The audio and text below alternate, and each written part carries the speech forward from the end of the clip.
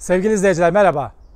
Birazdan izleyeceğiniz videoda ülkemizde gelin dua çiçeği olarak bilinen begonvil çiçeğinin bakımı ve yetiştirilmesinde karşılaşılan sorunlar ve çözüm önerileri hakkında sizlere bilgi vereceğim. Bu yayını Ankara'daki Dallıoğlu Seracılık firmasından gerçekleştiriyoruz. Bize bu imkanı sunan Dallıoğlu Seracılık firmasına çok teşekkür ederim. 1. Begonvil için en uygun yer neresidir? Begonvil yetiştiriciliğinde en önemli faktör ışık olup begonviller yüksek ışık koşullarında iyi gelişme gösterirler. Begonvillerinize çok fazla çiçek açtırmak istiyorsanız doğrudan ışık alan bir yerde günlük en az 5 saat ışık alması gerekiyor. Bitkinizi gölge bir yere koyarsanız bitkiniz boy yapar, bol yaprak yapar, çok az çiçek açar ya da çiçek açmaz. Begonvil yetiştiriciliğinde ışığın önemini şu ifadeyle daha iyi anlatabiliriz. Ne kadar fazla ışık, o kadar fazla çiçek. Begonvil sert ve şiddetli esen rüzgarları sevmez. Bu nedenle bitkinizi sert ve şiddetli esen rüzgarlardan korumanız gerekiyor. 2. Begonvilin sıcaklık isteği nedir? Begonviller tropikal iklim bitkileri olup ana vatanı Orta ve Güney Amerika'dır. Doğal olarak Brezilya, Peru ve Arjantin'de yayılış gösterirler. Ülkemizde ise özellikle Akdeniz ve Ege bölgesinde iyi gelişme gösterirler. Begonviller sıcağı seven bitkilerdir. Begonvillerinize bol çiçek aşırmak istiyorsanız sıcaklığın 25 derece ve üzerinde olması gerekiyor. Begonviller hem yüksek ışık hem de yüksek sıcaklık isterler. 10 santigrat derecenin altında gelişmeleri yavaşlar. Kış aylarında sıcaklığın eksi 1 santigrat derece ve altına düşmesi durumunda begonviller zarar görür.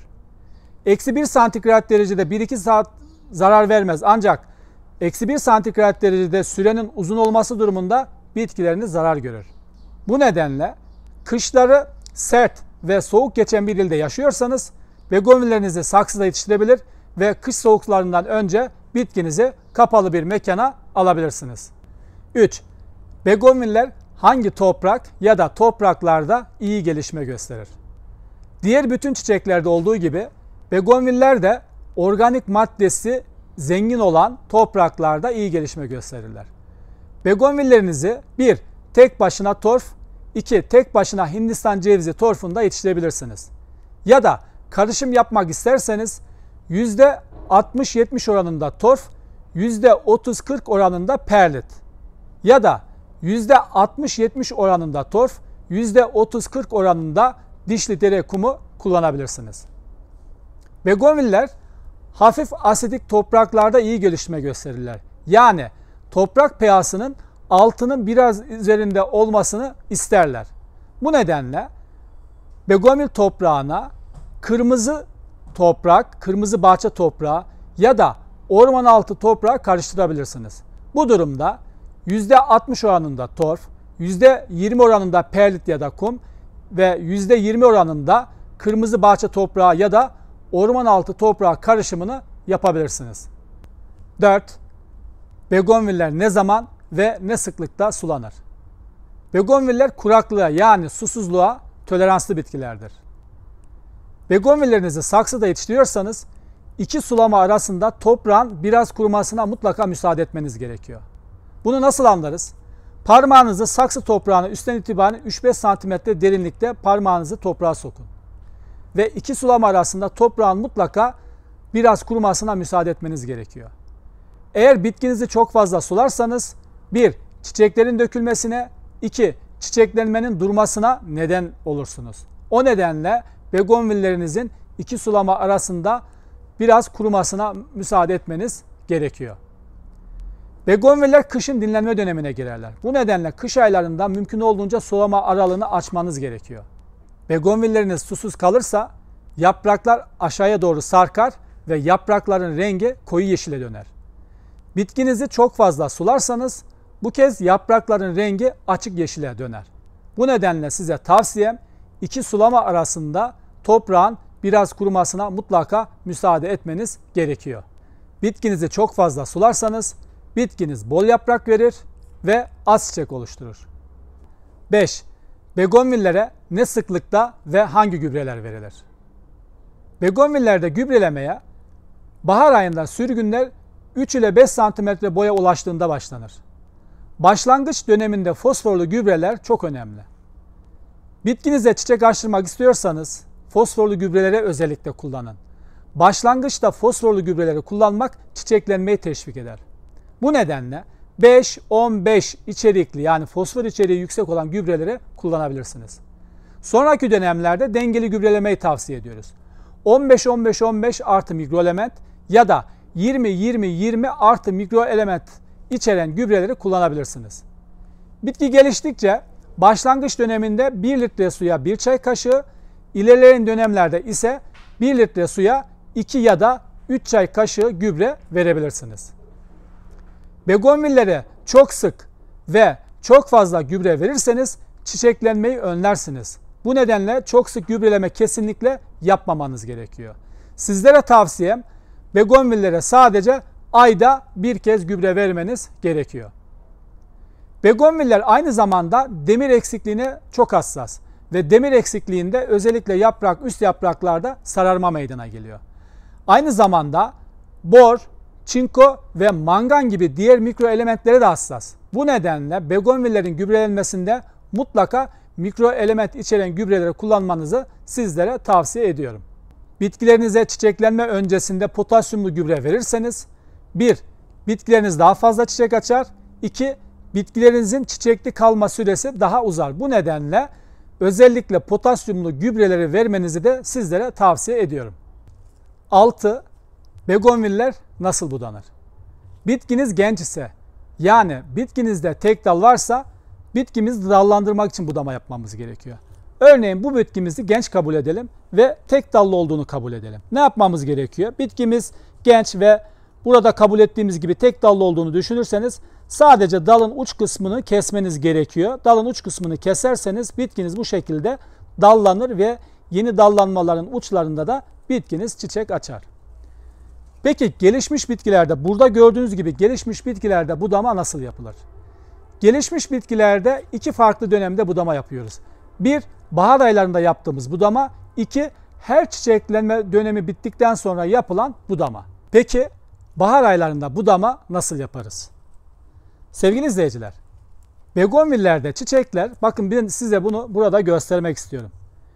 Begonvilde çiçekler o yılın yeni sürgünleri üzerinde oluşur. Bakın ana dalı görüyorsunuz ve bu yılın sürgünü ve çiçekler bu yılın sürgünü üzerinde oluşuyor. Onun için bahar ayında mutlaka budama yapmamız gerekiyor. Peki bahar aylarında budamayı nasıl yapacağız? Bu sürgünün uzunluğunun 50 santimetre olduğunu kabul edelim. Bahar ayında yapacağımız budamalarda sürgün uzunluğunun en fazla yarısını kesmemiz gerekiyor. Yani bunu 50 santimetre kabul ettiğimizde alttan itibaren ne yapmamız gerekiyor? 25 santimetre yukarıya gelip 25 santimetre yani sürgünü tam burada ortasından kesmemiz gerekiyor. En fazla. Bunu 50 santimetre 25 değil 30-35 santimetre yukarıdan da kesebiliriz. Yani begonviller derin budamayı sevmez. Bu bizim için oldukça önemli. İkinci budama ise genellikle her çiçekleme döneminin sonunda olur. Begonvillerde çiçekler Ege ve Akdeniz bölgelerinde genellikle Mayıs sonunda açmaya başlar ve Ağustos ayına kadar devam eder. Çiçekler açıp döküldükten sonra ne yapmamız gerekiyor? Bu sefer yumuşak budama yapmamız gerekiyor ve sadece çiçek alan dalı uç kısmından bakın burada gösterdiğim gibi şu an çiçekli olduğu için kesmiyorum mu? Sadece sadece bakın alttaki çiçeğin hemen altından kesiyorum. Yani dalı uç kısmından kesiyorum. Oysa bahar ayında yapmamız budama, bahar ayında yapılması gereken budamada ne yapıyorduk? Dalımızı yarıdan kesiyorduk. Yani buradan kesiyorduk. Çiçeklenme döneminden sonra ise sadece çiçekleri en alttaki çiçekli sürgünün altından kesmemiz gerekiyor. Yani begonvillere mutlaka yumuşak budamamız gerekiyor. Ege ve Akdeniz bölgesi bildiğiniz üzere kışları ılıman geçen bölgelerimiz. Bu bölgelerimizde her çiçeklenme sonrası budama yapabiliriz. Ancak bu bölgelerin dışında kışları sert geçen bölgelerde çiçeklenme sonrası budamayı tavsiye etmiyoruz. 7. Begonviller nasıl çoğaltılır? Begonviller genellikle çelikle çoğaltılır. Çelikler yıl boyu yapılsa da en uygun çelik alma zamanı Ege ve Akdeniz bölgesi için Mart-Nisan ayı, Marmara bölgesi için Nisan ve Mayıs ayı, Diğer bölgeler için ise Haziran ayıdır. Ben size şimdi örnek bir çelik hazırlamak istiyorum. Çelikler az önce bahsettiğim gibi genellikle Ege ve Akdeniz bölgesinde Mart ve Nisan aylarında alınır. Bakın şu şekilde dalımızı yarıdan keselim. Begonvil çeliklerinin en az 4 göz içermesi gerekiyor. Biz genellikle 4-6 göz 10 ile 15 santimetre uzunlukta çelik tavsiye ediyoruz. Ancak siz 6-7 gözlü ve 15-20 santimetre uzunlukta çelik hazırlayabilirsiniz. Burada gördüğünüz gibi bakın bunlar gözler ve şu gözler arası, boğumlar arası mesafe oldukça kısalı. Size bir tane e, şu an 6 gözlü çelik yapmak istiyorum. Bakın birinci göz, ikinci göz, üçüncü göz, dördüncü göz, beşinci göz ve şu altıncı göz. Bakın hemen altıncı gözün üzerinden çeliğimi kesiyorum şu şekilde. Bu da yaklaşık bir 10 santimetre uzunlukta. Daha sonra yaprakları şu şekilde koparabilirsiniz. Makasla da alabilirsiniz ya da elinizle de bunları bu şekilde koparabilirsiniz. Çeliğin üzerinde yaprak kalmaması gerekiyor. Aynı zamanda dip kısmında da dikenler var. Bakın burada gördüğünüz gibi dikenlerin de mutlaka uzaklaştırılması gerekiyor. Şu şekilde dikenleri de uzaklaştırdı. Daha sonra bakın Begonvil çeliklerinizi hormon kullanmadan da köklendirebilirsiniz. Ancak biz özellikle hormon kullanmayı tavsiye ediyoruz.